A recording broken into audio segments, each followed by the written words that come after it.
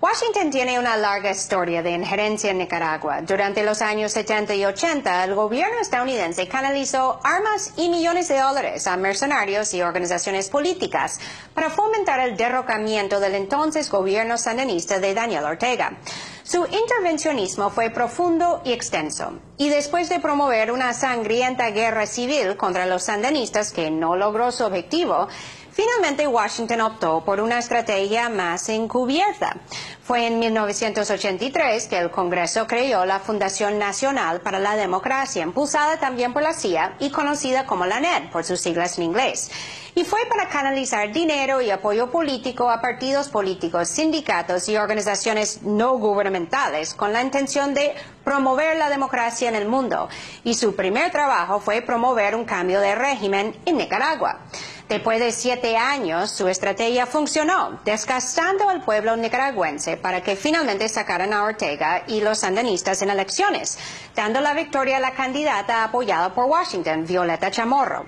Ahora de nuevo hay protestas contra el gobierno de Daniel Ortega y hay evidencia innegable de la participación de Washington.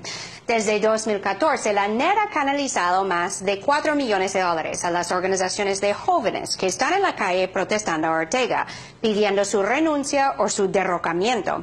De nuevo, Washington está promoviendo una insurrección en Nicaragua para sacar a Ortega e imponer un gobierno más favorable a Estados Unidos una estrategia comprobada. Desde hace casi tres meses, Nicaragua atraviesa una crisis política que empezó con las protestas por una reforma de la seguridad social y se transformó en multitudinarias manifestaciones en contra del presidente Daniel Ortega.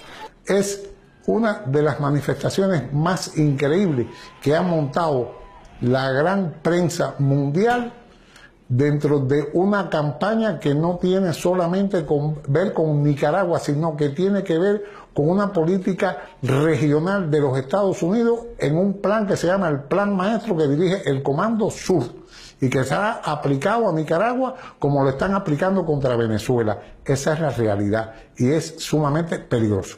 Mientras la oposición exige adelantar las elecciones presidenciales del 2021 al 2019, el mandatario de Nicaragua descarta esa posibilidad denunciando un intento de golpe de Estado.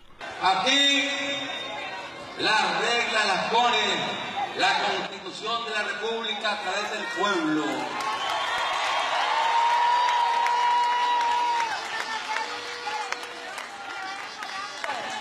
Las reglas no pueden venir a cambiarla de la noche a la mañana simplemente porque se le ocurrió a un grupo de golpistas.